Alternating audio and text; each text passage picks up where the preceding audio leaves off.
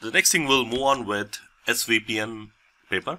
So this is one of the uh, concentration paper in your CCNP security exams. Now this paper mainly focuses on implementing and securing the VPN solutions like virtual private networks.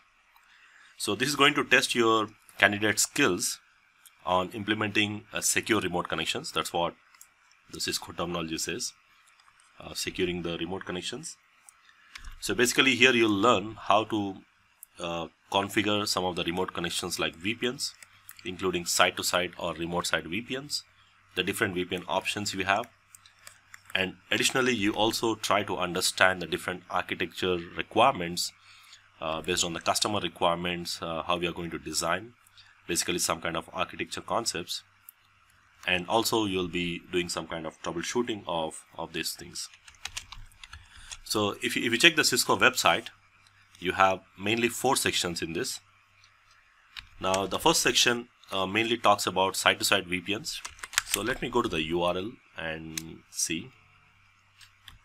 Okay, so if you check the URL here, uh, again the same thing here. This is the one of the exam associated with your CCNP security certifications and mainly includes securing the communications architecture and the troubleshooting options like there are four sections. The first section talks more about site-to-site -site VPNs in other words we can say how we can connect one LAN to another LAN so let's say you have a branch branch in Hyderabad and you have another branch in let's say Dubai. So how you are going to connect a VPN a virtual private network between these two sites? So using different options like we have DM VPN dynamic multi-point VPN and then we have flex VPN options so basically, these are the two VPNs we, we use in today's networks again. Uh, if you go with the older CCNP papers, we also have some other VPNs like GRE, which is no more used. So basically, you also have some site-to-site -site VPN uh, configurations with uh, on the ASA uh, with a basic uh, site-to-site -site VPNs with IPsec. So we still will be using IPsec in site-to-site, -site, but nowadays we will be using these VPNs and will implement IPsec over these VPNs. So basically you will learn how to implement this these two types of VPNs. Get VPN is also not used. So basically you are going to learn the described get VPNs. But the main uh, two types of VPNs we'll be covering here is DM VPN and the Flex VPNs.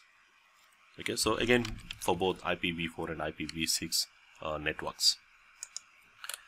So the second section you'll be focusing on remote access VPNs and the remote access VPNs is like uh, is like remote connection.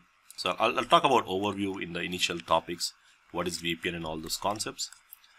So basically like as per the you know Cisco design if you're going with a CCNA so already you you will have a foundation knowledge on VPN already in the CCNA so basically it's like you know uh, you already learn CCNA in the new CCNA paper and then when you jump into the CCNP you already know some basic foundation on VPN but anyway in the course we'll be covering uh, basic VPN as well here. So that, that's how the course is designed here. So you're going to see how to connect remotely. If I'm sitting in my home how I can access my network by using two different options. So there are two ways. You can use SSL protocol or you can use IPsec protocol suite. Basically of course, the end, end, end software we use AnyConnect by using SSL and IPsec protocols.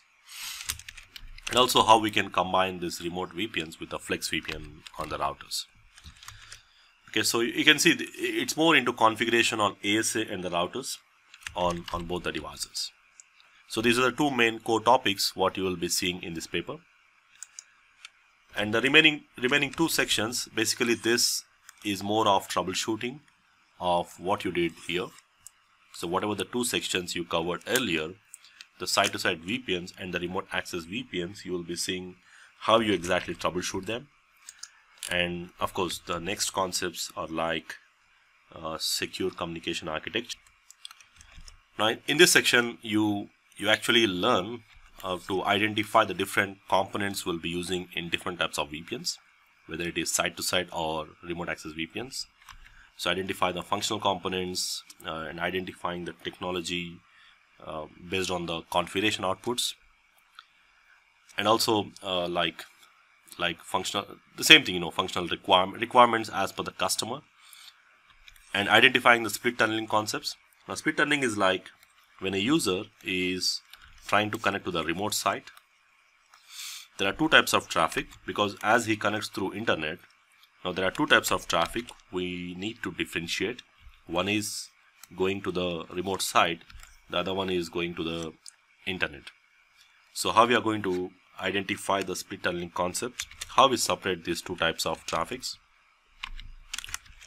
Uh, additionally you you also see some kind of uh, other concepts like how we design the site-to-site -side VPN solutions and also what are the considerations you are going to uh, you are going to see depending upon the customer requirements or depending upon the resources what you have depending upon the number of sites uh, you of the customer is having.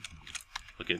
So basically this is more like designing uh, and additionally at the end you will be also just uh, identifying something called elliptical curve cryptography ECC algorithms. Now this is uh, one kind of public key encryption which is a technique used based on elliptical theory.